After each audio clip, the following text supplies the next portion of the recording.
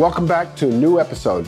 This one's going to be very interesting because I've just returned from CES 2023. Now, CES is the Consumer Electronics Show. Everybody in the industry who has to do with innovation and technology is there, primarily because this exhibition is the event that demonstrates anything that's cutting edge in the world of technology, in the world of electronics, in the world of innovation. Now, most importantly, we get to see what the greatest minds with the biggest brands are actually working on what they're revealing. So, in this episode, I want to cover some of the highlights in this year's show.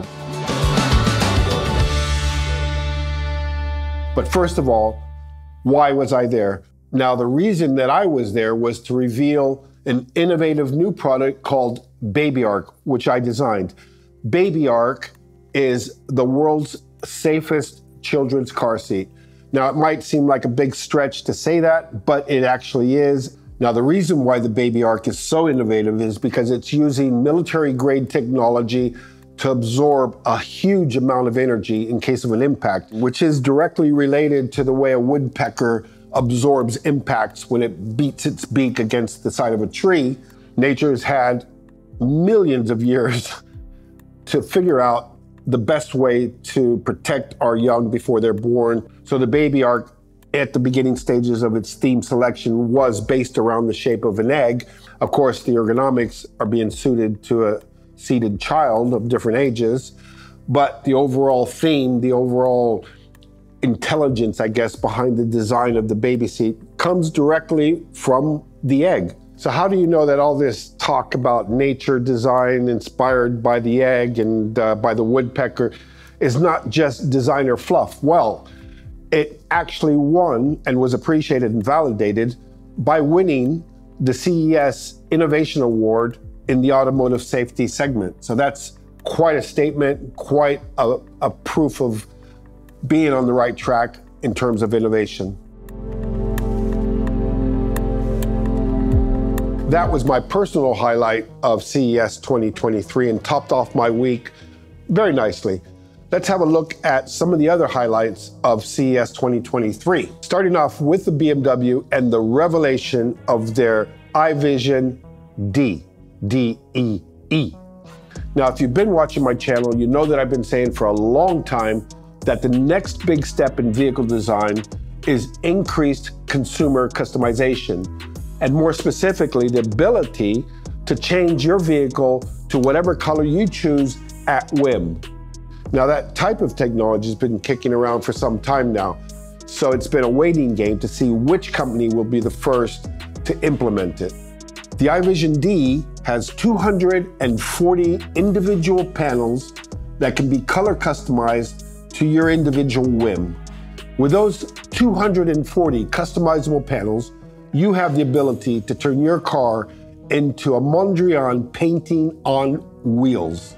This artistic approach is in no way removed from the DNA of BMW, namely because for decades, BMW has been doing a line of cars called the art cars, which allows different artists to put their interpretations into the color palette of these vehicles. Now, the only difference is that you get to be the Warhol or the Jeffrey Koons of your own vehicle. Personally, I love it. I think that anything that adds the ability to customize your own vehicle is a good thing. It opens up the range of possibilities and makes it much more interesting from a, an aesthetic point of view. I also think that what's quite interesting on the interior is the different levels of displays that you can actually have on the inside of the car. You go from having a windscreen and a dash panel is basically analog and increasing to the fifth level, you go through ranges where you increase the ambient, the virtual environment of your car up to the top level where, for example, the whole windscreen becomes a, a, virtual screen where you actually have a vision of the real world, but in a digital form in front of you. Including, which is pretty strange, I'm not sure who would go for this, but you could have an avatar on the side of your screen showing or displaying to the outer world your image of your avatar. So, not the real you, just how you want the world to see you. So that could be quite interesting. Uh, I'm sure the range of images could be extreme. I also think it would make the perfect getaway vehicle.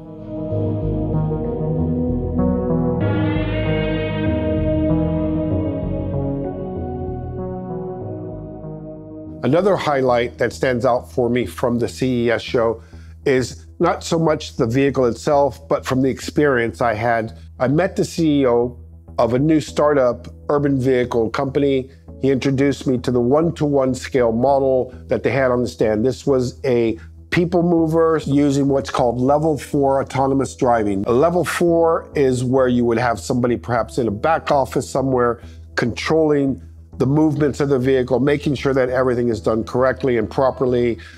Level five is where the vehicle operates 100% on its own and makes all the decisions on its own. So there is quite a bit of distance between level four and level five. So this CEO asked me what was my opinion of the vehicle, and I had to be honest with him, and I essentially gave him the message that this, in my opinion, was a box on wheels, to which he obviously was taken aback, but I had to be truthful. And his response was, We really don't care too much about the design of the vehicle. It's more about its function. Now, I can understand that point of view from an engineering side. He was obviously coming from the angle of engineering.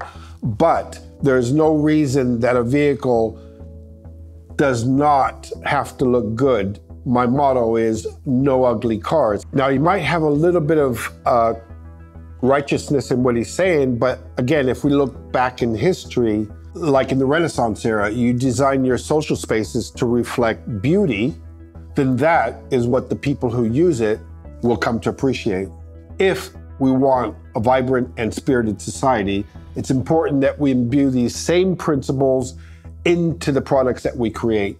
So, in summary, a mind boggling event. If you have the time, definitely check out the information that's provided on any of the many YouTube channels covering CES. Go there and you will find nothing but cutting edge innovation and technology and design. It was a fantastic show and it was an amazing experience to have the Babyark team leave with such a prestigious award. Hope that we can repeat the experience with more products in the future. Be sure to hit the subscribe button, hit that little bell icon next to it. See you soon.